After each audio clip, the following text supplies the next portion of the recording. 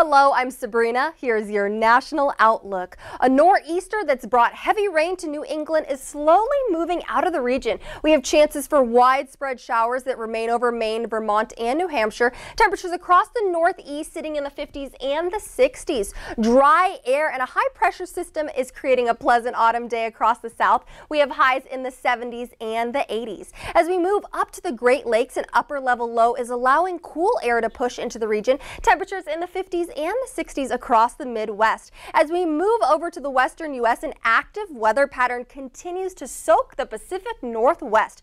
A frontal boundary is sweeping across the region, and that's dropping temperatures to the 50s and 60s, also sparking rain and showers across that area. Chances for rain stretch down to northern California tonight. So if you're headed out to AT&T Park for the World Series, you might want to bring your rain gear. The remainder of the West is experiencing another warm autumn day thanks to this high pressure system sitting over Arizona. Brandon captured this beautiful shot in Utah. Thank you so much for sharing, Brandon. Know what's coming. Tap the app to get the map. Follow me, Sabrina Reese, and keep it here on Weathersphere for your latest updates.